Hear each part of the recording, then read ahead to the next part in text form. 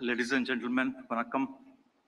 It is such a unique privilege of mine uh, to welcome Honorable Governor Dr. Tamilisai.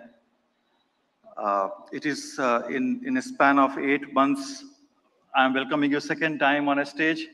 Uh, and it is such a privilege to meet you once again.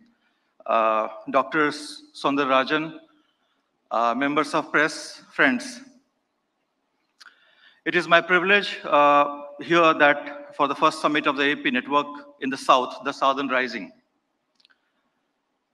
The South, many would argue, has already risen, and that would be correct. The South India story is one of the amalgamation of culture of unadulterated and undiluted economic progress and of social cohesion. It is as Rajmohan Gandhi described it, the story of the peninsular region influenced by the oceans and not by the Himalayas. And it is the story of four powerful culture, Kannada, Malayalam, Tamil and Telugu, and also Koduku, Konkani, Marathi, Odia, and Tulu.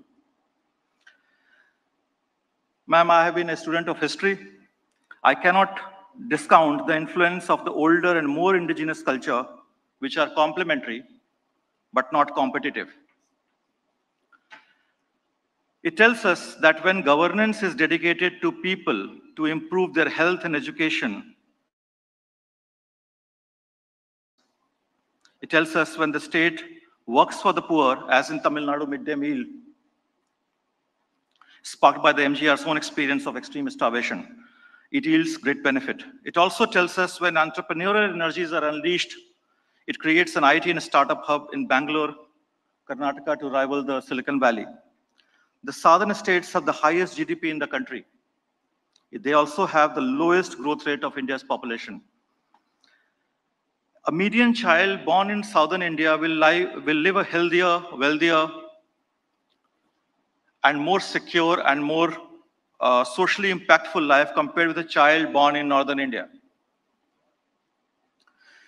There in many indicators of health, education, economic opportunities, the difference between the South and the North is so stark, which is you can easily compare with Europe and Sub-Saharan Africa and many parts of India. Right?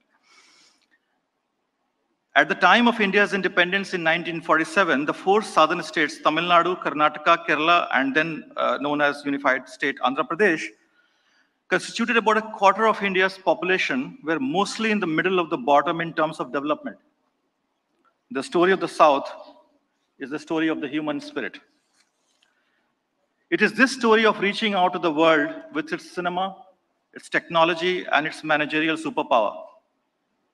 It is the story of diverging from North, focusing on development and not divisions of people, not on power, but on inclusion, but not on exclusion. And mom, ma'am, you are a great spouse for that. We, uh, we salute this story of today with an array of speakers from across the geographies today, from politicians to film stars, uh, from writers to thinkers, from musicians to media mavericks. From the governor of Telangana, right here in front of you, and Lieutenant Governor of Puducherry, Tamilisai Sundarajan, to Tamil Nadu Youth Welfare Minister Udayanidhi Stalin, from the great scholar Gopal Gandhi, the grandson equally of Mahatma and C. Rajgopalachari, to the actor Revati, who has performed in all four southern languages, from Bahubali, Baldev Rana Daggubati, to an array of plains uh, speakers such as John Brittas, my friend and member of parliament, K. Annamalai, Kavita, uh, Kavitaji uh, from Telangana, and Karthi P. We at ABP Network are proud to present the first edition of the Southern Rising to you with our four TV channels and four digital channels, two of them in Tamil and Telugu. We launched it, ma'am, two years ago here in, in this hall.